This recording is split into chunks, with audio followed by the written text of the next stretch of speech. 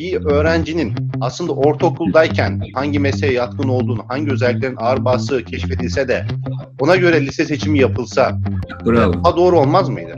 Meslek seçmek konusunda ne kadar olgun?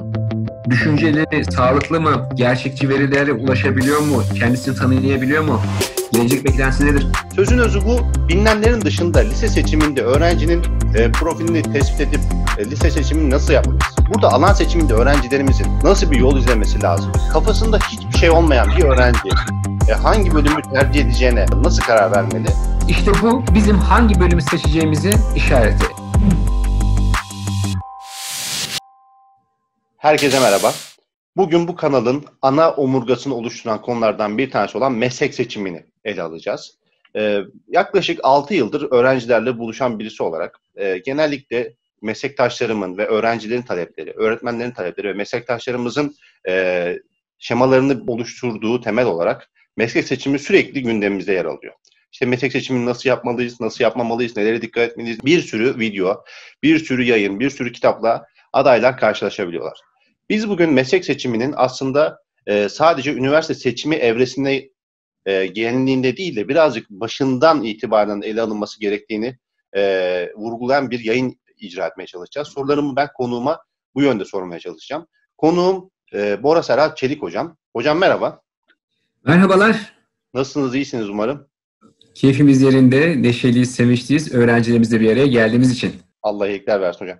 Hocam, e, şimdi genellikle üniversite adaylarına e, verilen tavsiyelerdir. İşte şu bölümü seçmelisin, bu bölümü seçmelisin diye ama ben şöyle kendimle alakalı bir hikayeden bahsedeyim size. Ben üniversite tercihi yapacağım zaman e, puanımı almıştım ve üniversite tercihi yapacağım zaman babam bana e, hangi bölümü seçeceksin diye sormuştu. Ben de işte işletme yazacağım veya işte uluslararası ilişkiler tarzında bir şeyler düşünüyorum baba demiştim. Babam da bana oğlum niye makine mühendisliği yazmıyorsun demişti. Çünkü benim babam asansör sektörüyle e, uğraşan bir kişi. Neden makine mühendisliği yazmıyorsun demişti. Ben de baba ben işte sayısal öğrencisi değilim eşit ağırlık öğrencisiyim demiştim. Ve babam bana e, niye sayısal seçmedin de eşit ağırlık seçtin sorusunu sordu. Tabii 12. sınıftan mezun oldum yani sınava üniversiteye gireceğim. Bu aşamada bana sor, sorulan bir soru tabii de benim cevap, cevabım baba bunu sormak için biraz geç kalmadım olmuştu. Tabii benim babam biraz ilgisiz veliydi ama aslında genel olarak ilgili veli de olsak, ilgisiz veli de olsak kaçırdığımız bir detaydı. Bizim aslında e, düşündüğümüz, kendimize uygun mesleği ve hayatı belirlemek için aslında üniversiteden önce liseyi seçmemiz, alanımızı seçmemiz gerektiğini düşünüyorum. Bu noktada e, bana katılır mısınız? Neler düşünürsünüz? İlk başta evet. hedef belirleme için ne zamanda neler yapmamız gerekiyor? Bu konuda anlatacak o kadar çok şey var ki. Yani meslek seçimi diye Google'da aratsanız o kadar çok makale, test çıkıyor ki, yayın e, karşınıza çıkar ki ve bu Aa, 1900'lerin başlarından itibaren hani şu hep tarih dersinde sanayileşme devrimiyle diye diyor e, insanların yeteneklerinin, iş becerilerinin değerli olduğu, ekonomik anlamda değer kazandığı andan itibaren buna kafa yoruluyor. Buna çok kafa yoruluyor. Ancak gelin görün ki insanlar e, belki de eğitim sistemlerinin, böyle formal eğitim sistemlerinin e, bireyin kendi yeteneklerini tanımasıyla ilgili e, rehberlik yapmasına, kendisini tanımasına daha doğrusu fırsat vermiyor. Şöyle mesela e, senin baban yukarı çıkmanın bir yolu olarak yani e, makineleri düşünmüş. Asansörcü olduğu için yukarıya makine çıkartıyor. O zaman makine mühendisliği iyidir demiş. Hı hı. Hep herkes kendi yaşam tecrübesinden anne babalar çocuklara, öğretmenler çocuklara bu e, şeyi tavsiye rehberliği yapıyor. Ama ne kadar ellerinde veri var, ne kadar duygusal davranıyorlar. Genelde insanlar duyarsınız duygularıyla karar verir. Hani insanlar çok da e, akıllı varlıklar değil aslında çok duygusal varlıklar. Hiç de akıl kârı olmayan tercihlerde bulunuyorlar ve bu tercihlerden bir tanesini de meslekler oluşturuyor. Hı hı. Popüler olduğu için insanlar o mesleğe yöneliyor. Bir öğrencim diyor, diyor ki diş hekimi mi olsam yoksa matematiği de seviyorum ama matematik öğretmeni olmak istemiyorum. Şimdi diş hekimliği, matematik bakınca e, puan türleri benziyor. Şimdi dersiniz ama gerek beceri aynı mı? Birisinde insanların kelimenin gerçek anlamıyla ağız kokusunu çekerken ağzını biçimlendireceksin insanların. Ötekinde ise matematikle uğraşacaksın. Ha o noktada şunu soruyor. Matematik öğretmeni olmak istemiyor ama matematiği seviyor. Ne giriyor işin içine? Aktüerya giriyor, risk yönetimi giriyor, sigortacılık giriyor, finans giriyor. Ancak o öğrenci e, lise çağında şimdi dişlerinde tel var. Hep dişçiyi görüyor. Diyor ki ne güzel bak temiz para kazanıyor, güzel güzel iletişim kuruyor bir diş hekimi görüyor. Bir de okulda matematik öğretmenini görüyor. Hı hı hı. bu ikisi arasında kalıyor. Halbuki o kadar çok seçenek var ki e, şu anda mesela Türkiye'de iş kurda Avrupa Birliği'nde Dünya Çalışma Örgütü'nde ve Amerika Birleşik Devletleri'ndeki e, şeyde e, Çalışma Bakanlığı'nın yaptığı çalışmalar var. Her birinde her biri farklı tanımlamalar yapıyor ve binlerce tanımlanmış meslekten yani İşkur diyor ki 7000 tane farklı tanımlanmış meslek var. Hadi bunların bir kısmı benzer. E, eleğin 1000-1500 tane farklı meslek kalıyor. Şimdi öğrenciye soruyorsun sen büyüyünce ne olmak istiyorsun? Doktor, avukat, mühendis seçenekler hala çok dar. Tabii tabii hocam. Aynen. Biz mesela yıl boyunca Anadolu illerindeki liselerimizden İstanbul'a kadar çeşitli öğrenci grupları bir araya geliyoruz. Yani tamamen aslında şu e, birkaç yıl öncesine kadar bu YKS'den önce sadece eşit ağırlıkçılar mesela hukuk istiyordu. E, şimdi Hı. bu e, yine sınav sistemiyle birlikte sayısalcıların da e, hukuka kayması oldu. Sınıfa soruyoruz, bir topluluğa soruyoruz. Ne e, hukuk düşünenleri görebilir miyiz diye. Salonun %70, %80'i el kaldırıyor. Yani e, hukuku biliyoruz, öğretmenliği biliyoruz, doktorluğu biliyoruz. Mühendislikle birkaç mühendisliği, bilgisayar mühendisliği ve yazılım mühendisliği, gün popüler birkaç mühendisliği biliyoruz. Onun haricinde bir aşçılık nedir, bir, bir işte zan, el zanatlarıyla alakalı bölümler nedir, öğretmenlikleri ve mühendisliklerin diğer dalları hakkında hiçbir şey bilmiyoruz. Genellikle popülaritenin e, parlattığı, popülaritesi yüksek olan bölümleri biz kendimize idol olarak, hedef olarak belirliyoruz. Hocam ben burada e, öğrencileri, sizlerin de kesinlikle tavsiyeleri oluyordur muhakkak.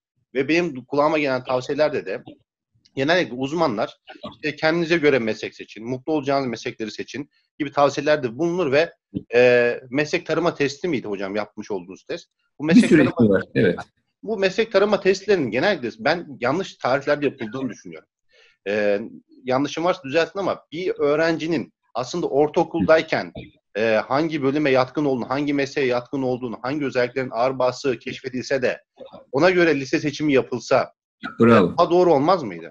Şimdi meslek seçimi dediğimiz şey aslında ortaokul yıllarında da bu bir kariyer e, şekillenmesi bakın e, okul öncesi dönemde hani anaokulunda ya da evde bebek yani çocuk oyun oynarken ilgilendiği şeyler dahi onun ilerleyen zamanda nasıl meslek e, bulacağıyla ilgili ekmeğini nasıl kazanacağıyla ilgili işaretler veriyor. Bunu ben söylemiyorum. Bunu kim söylüyor? Bunu hakikaten e, çocuk gelişimi alanında uzman insanlar, eğitim bilimciler ve psikologlar, davranış bilimciler genel anlamda bununla uğraşıyor. Bir, birkaç örnek vermek istiyorum. Ee, sen kendi örnek geldin, ben de bir tane ilginç örnek vereyim. Vaktiyle babam Almanya'da işçi geldiğinde bir daktilo getiriyor. Hı hı. Ama kendini kullanmayacak bunu. Çünkü hani daktilo kullanım becerisine ya da öyle bir eğitim öğretimine haşır neşir insanlar değil. Bir maden işçisi. Ama benim çocukluğuma dönüp baktığımda en fazla keyif aldığım oyun daktiloyla. Daktiloyla. Benim ortaokul, ilkokul, sonra lise vesaire bakınca öyle şahane bir akademik başarım olmamıştı. Ta ki yani üniversite süreci başlayana kadar. Ee, ve şu anda dört tane yayınlanmış kitabım var. Normalde ilkokul öğretmenim, annem babam da dahil, ilkokul öğretmenim, arkadaşlarım benim bir eğitimci ve yazar olacağımı ihtimal vermezdi. Ama çocukluk oyunlarına gidip baktığımda ben zaten yazmaya başlamışım diyebilirim.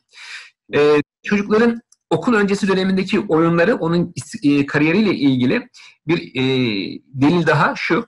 Mesela 2-3 yaşında bir çocuk hatta soruyorsun büyüyünce ne olacaksın diyor. Ya 3 yaşında çocuk. Bir cevap değil mi mutlaka? Yani ne bileyim daha düşünmedim demez. Ne diyorsun da demez. Der ki çöpçü olacağım, temizlikçi olacağım, astronot olacağım, polis olacağım, polis doktoru olacağım. Böyle şeyler sayarlar. Hatırlıyorsun değil mi? Herkes tanıyor.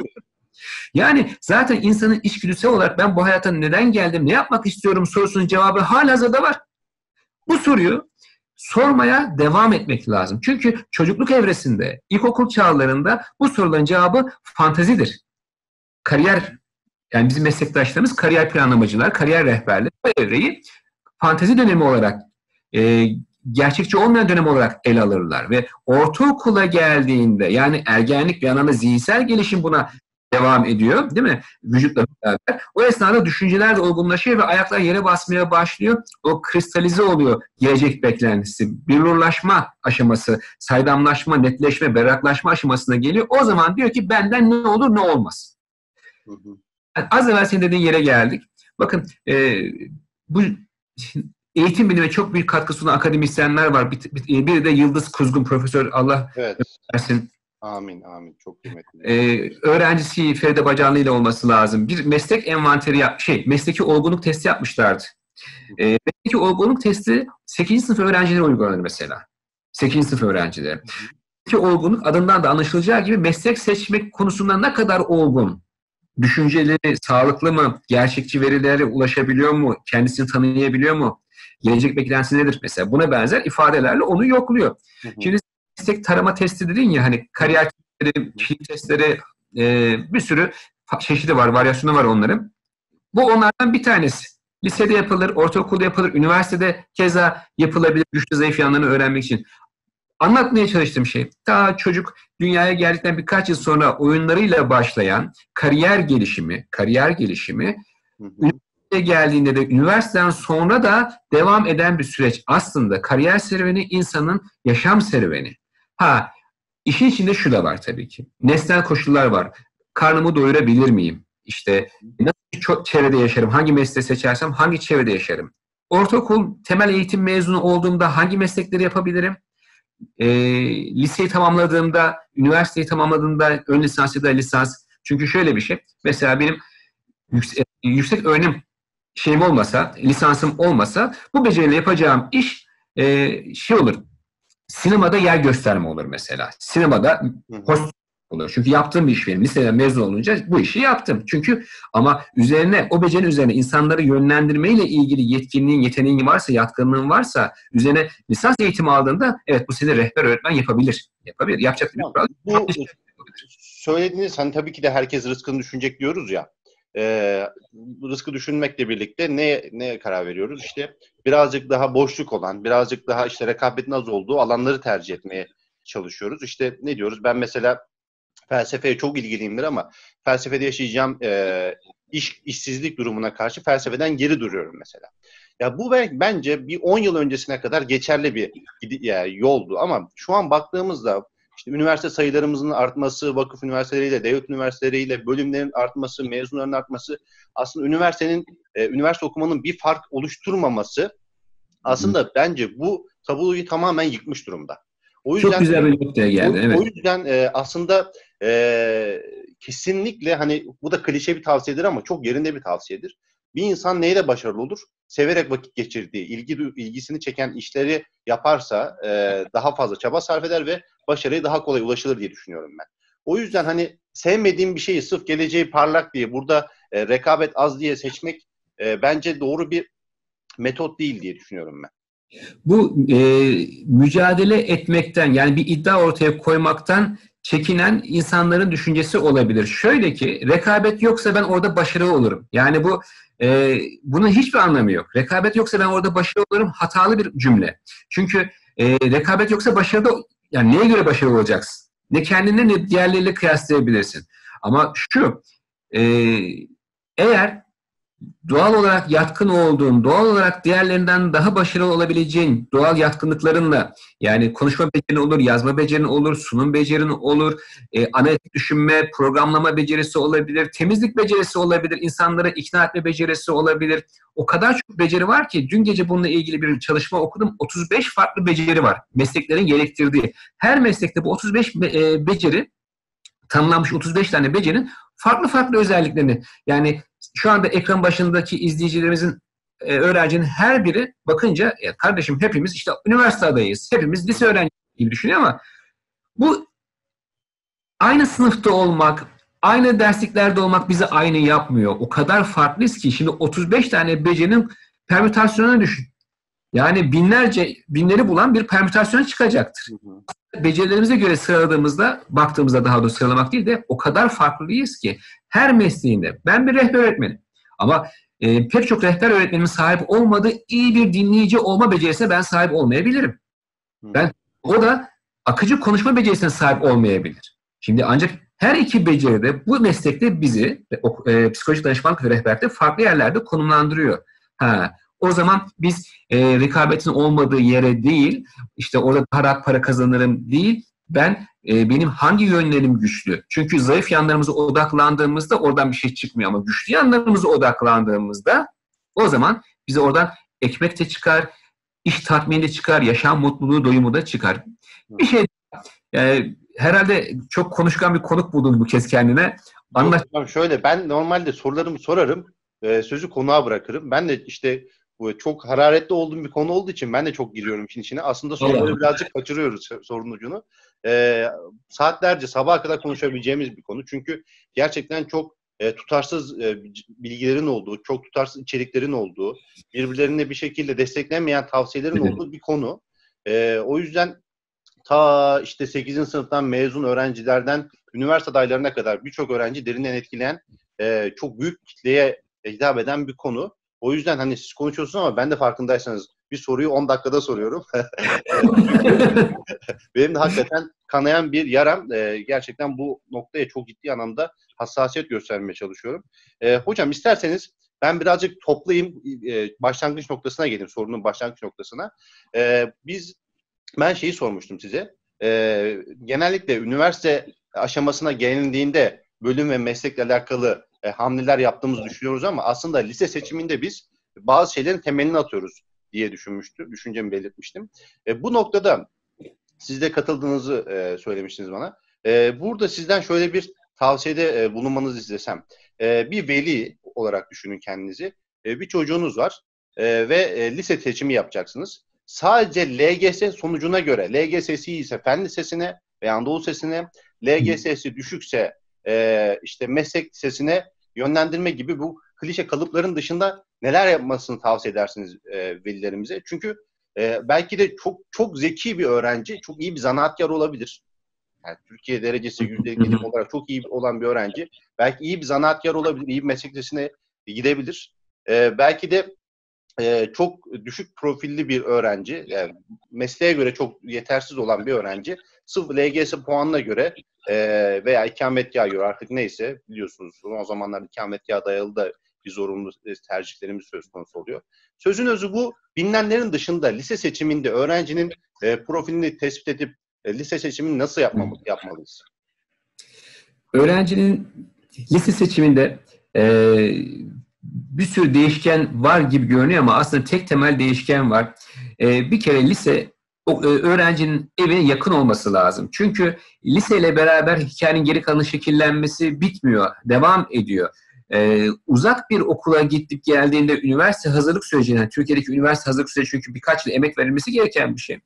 Günde 3 saati yolda gidiyorsa İstanbul gibi, Ankara gibi büyük şehirlerden bahsedelim, İzmir gibi ama ufak şehirlerde o kadar olmayacaktır belki. Mesafe mesela çok belirleyen bir değişken olabilir. Şimdi bakınca bunun ne alakası var konumuzla okul mesafesinin ama var var. Çünkü bir yandan da çocuğun güvenli bir yaşama alanına ihtiyaç var. Kendisini e, iyi hissetti. E, öte yandan da bu çocuğun gelecek hayaliyle ilgili. Tabii bu gelecek hayali ailenin vizyonu da önemli. Lise çağında hala ailenin etkisi var çocuğun yaşantısında. Herkes çocuğun fen lisesinde eğitim almasını ister ancak e, fen lisesi için gerekli olan akademik becerilerin kazanılması o 8. sınıfta, 7. sınıfta, 6. sınıfta olan bir şey değil sadece. Baktığımızda ilk öğretim yaşantısı boyunca gözlemlenecek bir şey. Şimdi aileler bunu gözlemlemediğinde son anda işte 8. sınıfta 7. sınıfta istemeye başladığında bu çocuğa haksızlık.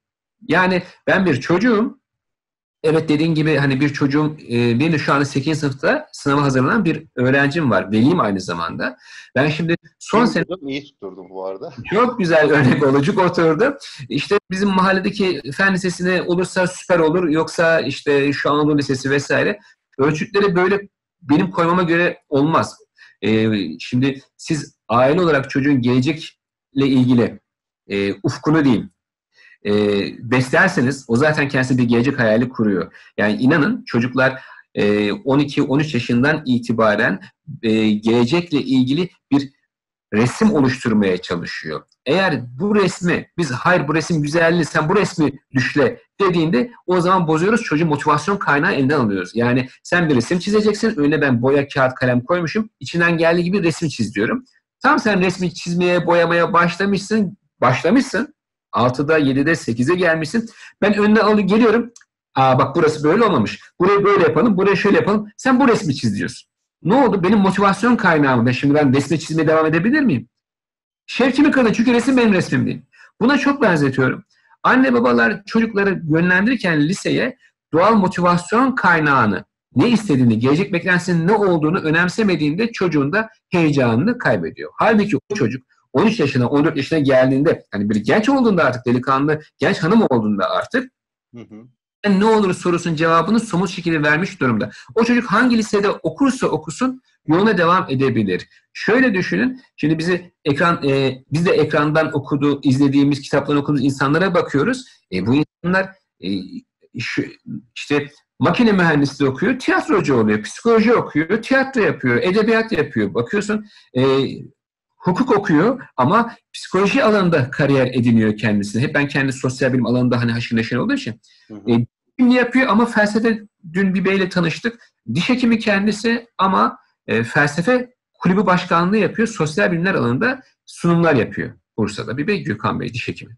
Çocuk, çocuklarımızın e, ne olacağıyla ilgili e, düşüncelerimiz, fikirlerimiz olabilir ama bunlar çocuklarımızın kararı yerine geçmez. Çocuklarımızın bu hayatta e, tutunacakları, bu hayatta onların istedikleri e, hatta şöyle bir cümle kuracaklar belki ya ben bu dünyaya neden gönderildim diye bir soru soracaklar. Benim bu dünyadaki yaşam amacım nedir? Bunun cevabını bir insan kendisi verebilir. Annesi babası bu sorunun bu dünyadaki benim yaşam amacım nedir'in cevabını bir başkası veremez. Peki ekmek kazanmak, para kazanmayla ilgili şimdi şöyle bir gerçek de var. Yapılan araştırma yıllık geliri 12 bin dolar ortalama, yıllık geliri 12 bin dolar olmayan mesleklerde e, iş tatmini sağlamak zor. Hani ben sevdiğim işi yapıyorum. E, Yıldız Hacı Evliyagil isminde bir hanımefendinin meslek seçimi kitabı var. Orada okumuştum meslek seçimi kitabında Yıldız Hanım'ın. E, e, e, ben pilates öğret eğitimcisi olmak istiyorum. Ben çok seviyorum insanlara egzersiz yaptırmayı, spor yaptırmayı. Oluyor ama o geliri elde edemediğinde kirasını ödeyemiyor. Değil mi? E, evinin temel ihtiyaçlarını, ailesi temel ihtiyaçlarını karşılayamıyor, en mutsuz oluyor. Şimdi sevdiği meslek mi? Kesinlikle çok sevdiğim meslek ama tatmin var mı? Mutsuz. Mutsuz. Şimdi böyle değişkenler de var işi içinde. Verilerle çalışmak lazım, bilgiyle çalışmak lazım. Bakın siz bu ekranları açarak insanlara rehberlik yapıyorsunuz. Bu müthiş bir şey. Hı hı. Şimdiye kadar çocuğu 8 sınıfa gelmiş bir anne baba kaç tanesi şurada yarım saattir konuştuğumuz şeylerin değerinde, içeriğinde, niteliğinde bilgilere erişebilmiştir? Yani çok az yani. Ben çok fazla denk gelmiyorum. Yani genellikle yani insanlar tabii ki de iyi şeyler yapmaya çalışıyorlar. Meslek büyüklerimiz, meslektaşlarım, rehber öğretmenler e, iyi şeyler yapmaya çalışıyorlar ama maalesef çok tekrara düşüyoruz. Aynı şeyleri konuşmaktan bence yani çok fazla somut adımlar atamadığımızı düşünüyorum ben. Çok fazla dinlemeye çalışıyorum, izlemeye çalışıyorum. Ama e, genel olarak e, hep tekrarlı şeylerle, tekrarlı içeriklerle e, öğrencilerin ve velilerin karşısına çıktığımızı düşünüyorum. Şey gibi, hani hocalara soruyorlar ya, sakız orucu bozar mı hocam? Hep ya. tekrar hep tekrar ilerlememiz lazım. Evet, evet. Hocam şimdi e, ben yine bu e, ziyaretlerin sonucunda öğrenciler karşısına çıktığım seminerlerde, konferanslarda dikkat ettiğim bir husus. Buradan aslında olaya biraz sakmaya başladım. Şimdi biz İbn Haldun Üniversitesi olarak Sosyal Bilimler Üniversitesiyiz. Yani sosyal bilimlere odaklanmış bir üniversiteyiz. Bunun e, getirmiş olduğu e, özelliklerle birlikte biz lise öğrencileriyle buluştuğumuz etkinliklerde genellikle eşit ağırlıkçı ve sözelci öğrencilere temas etmeyi daha çok isteriz. İşimiz gereği. Ve e, şunu fark ettik ki ülkemizin önde gelen Anadolu liselerinin, e, önde gelen proje matip liselerinin, hatta e, bir alt seviye liselerin dahi sözel sınıfları hiç yok. Hiç yok. E, eşit ağırlık sınıfları bir sınıf genelde öğrencilerimizin çoğu alan seçiminde sayısal alanı tercih ediyor. Evet. evet. Şimdi e, yani çok ilginç bir şey. Yani sözel dediğimiz programın içerisinde iletişimden ilahiyata e, felsefeden, gerçi felsefe şeye geçti ama tarih bölümünden e, coğrafyaya kadar sosyal bilimlerin çok önemli bir kısmının yer aldığı sözel alanda şu an öğrencimiz yetişmiyor. Tabii ki de sınav e, sistemini getirmiş olduğu özelliklerin e, yansımalarından bir tanesi ama nihayetinde lise eğitiminde bu alanda pişmemiş bir öğrenci furyası var. Özellikle bu yıllarda. E, bu noktada alan seçiminde biz ben şöyle yorumluyorum. Öğrencileri de bunu anlatmaya çalışırken şöyle anlatıyorum. Diyorum ki hep tüm karne notlarınızın e, hepsinin süper olduğunu düşünün. 9. 10. sınıfta. E, alan seçimi yaparken hiç kimse size tarihiniz mükemmel, coğrafyanız mükemmel, siz sözelci olmalısınız demiyor. Direkt fizik, kimya, biyolojiye bakıp ona göre iyiyse sayısalcı, sayısalcısınız. E, onlar kötü, matematiğiniz iyiyse eşit ağırlıkçısınız, sonra sözelcisiniz diye gidiyor. E, bu şekilde bir alan dağılımımız olmuş oluyor. Burada alan seçiminde öğrencilerimizin size, size göre nasıl bir yol izlemesi lazım? Öğretmenlerimizin bence burada üstüne düşen çok büyük görevler var. Okul idarecilerinin üstüne çok düşen görevler var. Burada tüm bu paydaşları düşünecek olursak alan seçiminde bizlere ne gibi tavsiyelerde bulunabilirsiniz? Sosyal bilimler hani e, bakınca insanların e, bu kadar çok matematik, bu kadar çok fen alanında e, insana ihtiyacı yok bir kere. Yani sosyal bilim dediğimizde bunu içine yabancı dilden uluslararası ilişkiye, diplomasiye kadar insan kaynakları yönetiminden yani e, bir sürü felsefe, öğretmenlik vesaire çok fazla e, meslek alanı var bir kere. Bunu fark etmek lazım. Yani e, bir meslekler listesi çıkarttığınızda bunların en az yarısının sosyal bilimlerle ilgili olduğunu hatta hani ama sağlıkta ekmek var. Tamam da bütün sağlık sektöründe çalışanların hepsi tıp eğitimi almıyor. Orada sosyal bilimciler de var. Yani o yönetim e, sağlık yönetimini yapan, sağlık politikalarını üreten insanlar sadece hekimler değil. Orada evet sosyal bilimciler de var fark yaratabileceğimiz alan bizim doğal yatkınlığımız. Şimdi bizim ders başarımız, e, ders başarımız evet yetkinliğimiz, yatkınlığımız, istek ve motivasyonumuzla ilgili bilgi verir. Yani tarihi, coğrafyası, sosyal bilimler dersleri başarılı olan bir öğrenci diyor ki e, benim bu alanda bir yeteneğim var, yatkınlığım var diyor.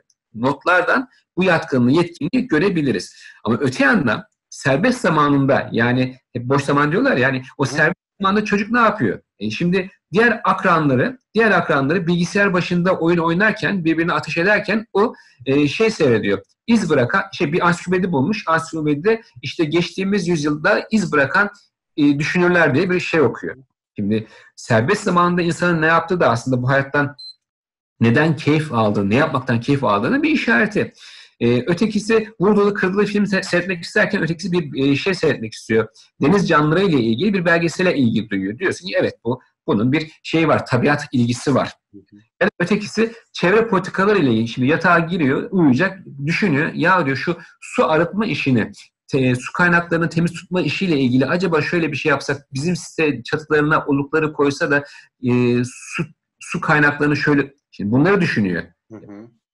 Her birinde farklı şeyler e, ya da birisi diyor ki yoksulluğu ben nasıl ortadan kaldırırım bununla ilgili politika üretmek istiyor. Öteki diyor ki işte ya dünyanın her yerinde böyle bir pro- problem var. Acaba işte kadın girişimcilerin e, finanse edecek bir kooperatif kursam mı? Bu da sosyal bilimci kafası. Şimdi e, aslında e, günümüzde yani insan yaşam yaşamında e, çok fazlasıyla söylediğiniz hocam şeyleri yaşıyoruz ama adını koyamıyoruz. Aslında bu anlama geldiğini bilmiyoruz biz aslında meslek özelliklerimiz, hangi mesleğe yatkın, hangi alana yatkın olduğumuzu e, işte bizim e, ağır, ağır basan tarafımızın gösteren unsurlar olarak bu, bu söylediklerinizi bence bilmiyorum. İşte bu bizim hangi bölümü seçeceğimizi işareti. Eğer ben farklı yanım, güçlü yanım, sosyal bilimler olacaksa bundan e, bunu cesaretle kabul etmem lazım. Bunda korkacak bir şey yok. Aksine güçlü yanlarımız bize bir yere getiriyor. Bu hayatta fark yaratmamızı, oluşturmamızı sağlıyor. Öbür türlü güçlü yanın olmadığında diğerleriyle de hani rekabet eğer derdin, diğerleriyle zaten rekabet edemezsin. Çünkü güçlü yanını orada gösteremiyorsun. Eğer bir fen adamıysa zaten felsefe okuması lazım. Eğer bir e, sosyal bilimci ise öte yandan da mühendislikle ilgili okumalar yapması lazım. Özel zamanda ki kişisel gelişimini besleyebilsin. Kendisini farklılaştırabilirsin. Yani şimdi Sinan Canan Hoca'nın e, geçen gün Serdar Kuzuoğlu ile yaptığı bir söyleşi izliyorum. Buna benzer bir sohbette. E, şeyin e, Google'da herhalde e, Google'ın e, Hindistan'a gönderdiği antropolog var. Şimdi antropoloğu, arkeoloğu, e, işte sanat tarihi böyle farklı disiplinlerdeki insanları istihdam ediyor. Niye? Çünkü o teknolojiyi kullanacak olan toplumun e, analizini yapmak için insanlar neye ihtiyaç duyuyor? Yani e, emin olun o teknolojik cihazların tasarımına baktığınızda sadece bir mühendis kafası yok orada. Aynı zamanda orada bir yok bir reklamcı, bir halkla ilişkiler, PR uzmanı, onların da pazarlamacı, bunların da e, bakışı, değerlendirmesi önemli. Hı hı. Hocam yani gerçekten söylediğiniz şeyler aslında tamamen yine klişe olan e, bir tavsiye. Yani kendinizin farkına varın, kendinizi tanıyın. E, tavsiyesinin için doldurdunuz aslında bence bu kısımda. Yani bir e, izlediğiniz filmden, okuduğunuz yani, e, düşündüğünüz bir arkadaş aktivitesinden insanların aslında e, bir şekilde kendisinin özelliklerinin ortaya çıktığını bilmesi gerekiyor. Buna göre bir klişe, evet bu bir klişe ifade ama her klişe e, klişe deyince hani ya bu çok ge- geçerli bir şey olmayabilir. Çok duyduk bir şey. Şimdi çok duyduğumuz bir şey bunun doğru olmadığı anlamına gelmiyor. Su işte deniz seviyesinde 100 derecede kaynar. Yani hep duyduğumuz şey ama gerçek bu. Ama gerçek benim, bu. Benim klişeden kastım şu hocam. E, klişe şu bence e, tavsiyede bulunan ama iç, açılmayan yani altı doldurulmayan. Kendinizi, sen, kendinize göre... Sen bir, sen bir sosyal bilimci olarak doğru anlamda kullandın ama genel anlamda insanlar öyle anlamıyor diye ben e, bu açıklamayı yaptım. İnsanın kendini tanımasından daha değerli bir uğraşısı olmayacak. E, Doğan Cüceloğlu hocayı herkes tanır aşağı yukarı. E, 70'li yaşlarına gelmişti bir seminerinde sahneye çıkar çıkmaz söylediği şey şu oldu. Biliyorum kendinizle uğraşıyorsunuz. O yüzden buraya geldiniz. Rahat olun. Ben de halen kendimle uğraşıyorum. Şimdi sahneye çıkan 70 yaşında bir adam ve kendisi davranış bilimi uzmanı. Yani ve dünya çapında çalışmış olmuş bir adam. Adam hala kendisine uğraşıyor. İnsanlar yaşlandığında kendisiyle uğraşmaktan vazgeçmiyor. Bu anlamda insanın kendini tanıma çabası son bulacak bir şey değil ama çok önemli bir şey. Özellikle lise ve alan seçimi yaparken. İşte dönülmez bir hata, dönülmez bir karar seçim değil. Daha sonra telafisi var. Hayat buna izin veriyor. Yani böyle bir mucize hayat. Sana yeni başlangıçlar için fırsat veriyor. Ha, bedeli biraz daha ağır olabilir. İşte şimdi bir ayda yapabileceğin şeyi daha sonra birkaç yılda yapabilirsin. Zaman geç olduğu için. Ama olur mu? Yine olur. Hı hı. Seçim yaparken.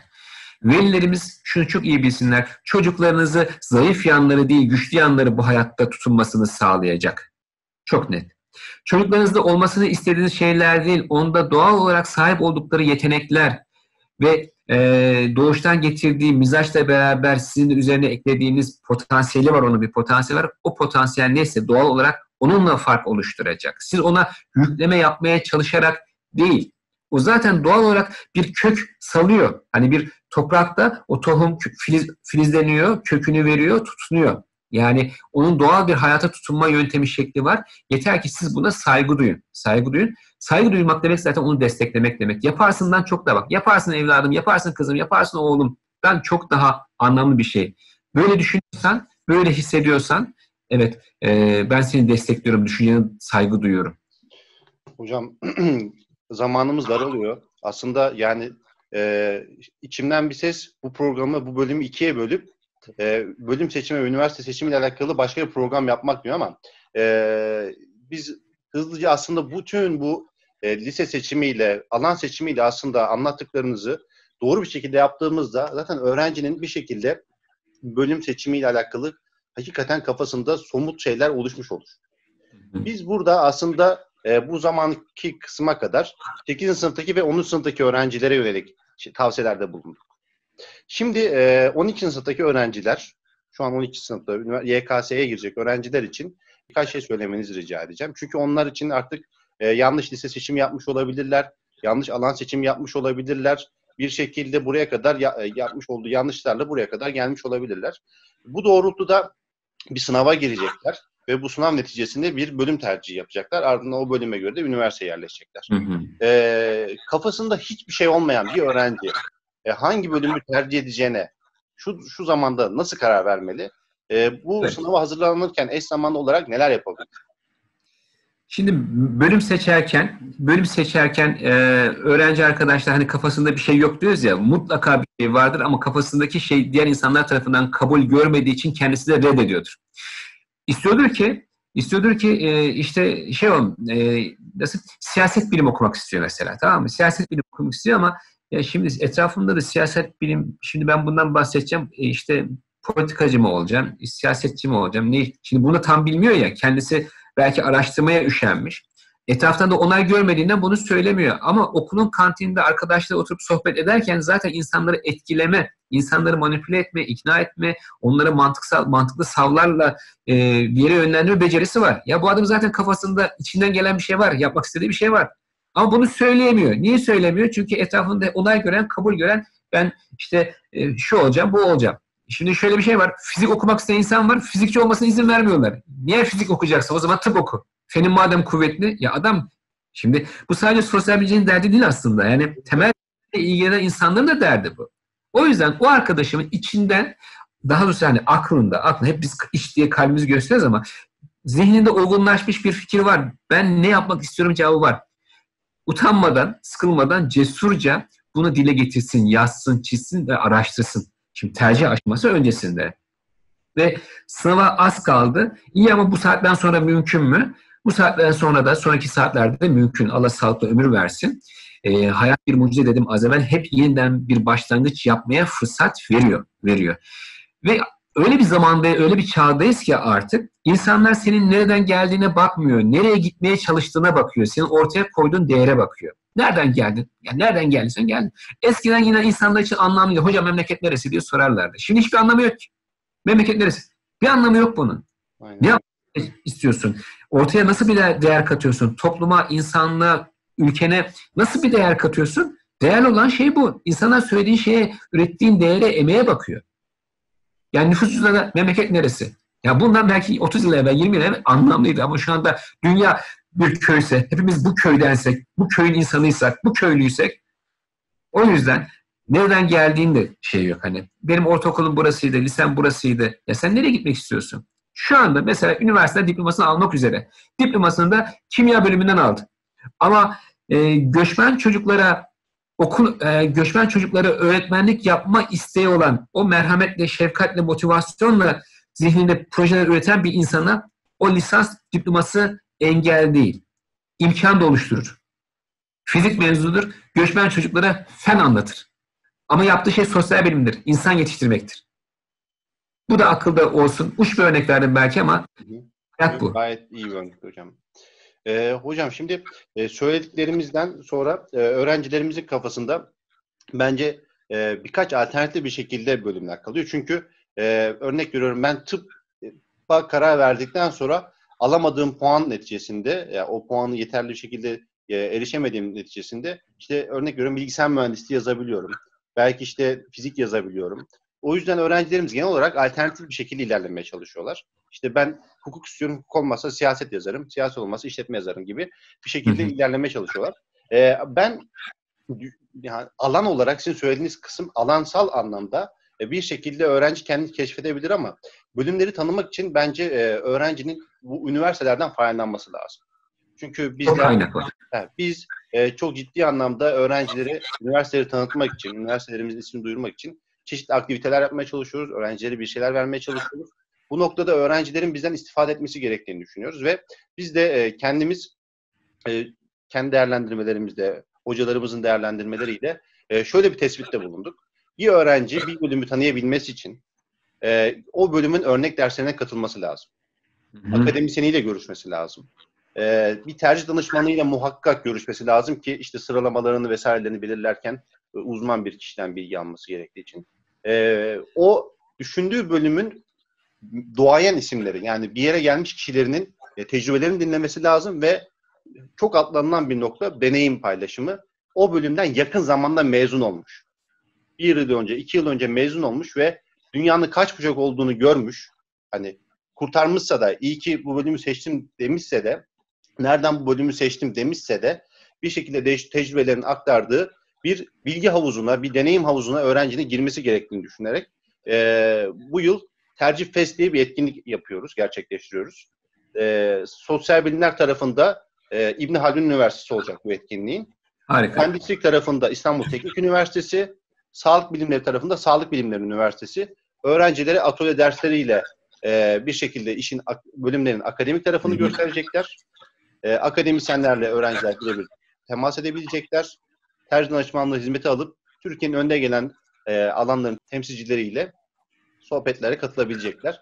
Tabii bu YouTube kanalıyla siz tabii rehberlik yayınımıza katıldınız ama biz her hafta her bölümde e, bir bölümün mezunuyla, yakın zamanda mezunuyla röportajlar gerçekleştiriyoruz ve öğrencilerimize bir şekilde o mezunun yaşadığı tecrübeleri de aktarmaya çalışıyoruz. Bunu da yeri geldiği için e, sizin de ilk defa paylaşıyorum orada. İlk yayında ilk defa evet. yayında paylaşıyorum. Süper. Önemli bir hizmet, e, değerli bir hizmet. En başta konuştuğumuz bir şey vardı. Hani ellerinde veri olmadan karar vermeye çalışıyorlar. Ama e, yağmur yağacaksa şemsiye alırsın. Yağmayacaksa şemsiye taşımana gerek yok gibi. Veriler çok değerli.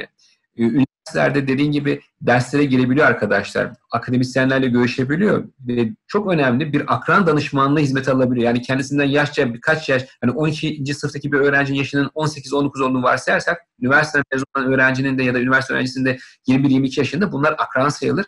Ee, akıl akranlar birbirine akıl vermezler. Akranlar deneyim paylaşırlar dediğin gibi. Bu deneyim paylaşım çok değerli bir şey. İşin içinde arkadaşlık var, samimiyet var. Bir şey ispatlama çabası yok. Bilgiye de bu şekilde ulaşabilirler. Facebook var, YouTube var, Instagram var. Yani e, benim istediğim şeyi yap şu anda yapan, yaşayan, benim deneyimlemek üzere olduğum şeyi tamamlamış olan insanlar var. Onlarla bağlantı kurmak için sizin bu yaptığınız iş gerçekten çok değerli, anlamlı. Teşekkür ederim. Rica ederiz hocam. İnşallah öğrencilerimize faydalı bir şekilde bu doğru bölüm seçmelerine olanak sağlayacak bir etkinlik olur. Çünkü ben evet. 2019 yılında YKS e, verilerine baktığımda yaklaşık 2,5 milyon adayın hocam %25'i aşağı yukarı daha önceden bu sınava girmiş, yerleşmiş, tekrar tekrar, tekrar giren kişilerden evet. olduğunu gördüm. Çok dikkatimi çekti. Yani bu çok büyük bir rakam yani. %25 çok ciddi bir oran. Bu noktada bir şeyler yapmamız gerektiğine karar verdik ve e, böyle bir etkinlik çıktı ortaya. İnşallah verimli bir şekilde geçirmiş oluruz. Hocam çok teşekkür ederim. Gerçekten çok, çok verimli, çok keyifli bir sohbet oldu. E, ağzınıza sağlık. E, inşallah ben tekrar tekrar sizleri davet edeceğim. İnşallah kırmazsınız programımıza. E, tekrardan sizin tecrübelerinizden ve tavsiyelerinizden öğrencilerimizi yararlandırmak bizim için mutluluk verici olur. E, tekrar teşekkür ederim. Ben de teşekkür ederim. Başarılı çalışmalar diliyorum. Sağlıklı günler arkadaşlar. Evet, Bora Serhat hocamıza tekrar çok teşekkür ederiz. Gerçekten e, biraz uzun oldu ama çok verimli ve e, kritik bilgilerin yer aldığı bir konuşma gerçekleştirdiğimizi düşünüyorum. Genellikle meslek seçimiyle alakalı tavsiyelerin yer aldığı videolar e, 12. sınıf öğrencilere yönelik videolar olur. Biz burada e, ta, 8. sınıfa kadar sizleri götürmeye çalıştık. 8. sınıftaki öğrencilerimizin e, lise seçimiyle alakalı e, dikkat etmesi gereken hususlara değindik. E, lise 1'deki öğrencilerimizin, lise 2'deki öğrencilerimizin alan seçiminde yapmış olduğu yanlışların, öğretmenlerimizin yönlendirmelerinin, velilerin yönlendirmelerinin e, altını çizmeye çalıştık. Burada alan seçiminde dikkat edilmesi gereken şeyleri vurgulamaya çalıştık. Ardından bölüm seçimi ve e, üniversite seçimiyle alakalı önemli kısımlara değinmeye çalıştık. Konuşulacak daha çok şey vardı. Sabah kadar konuşabilirdik belki. Benim de çok dolu olduğum bir konuda olduğu için farkındaysa sorularımı çok uzun tutmaya çalıştım. Yorumlarımı katmaya çalıştım. Ee, umarım keyif almışsınızdır. Ee, umarım sizlere bölüm seçimlerinizde, hedefleriniz belirlemede katkı sağlamışızdır. Şimdi bölümümüz burada sona eriyor. Bir sonraki programda başka bir bölümle karşınızda olacağız. Kendinize iyi bakın.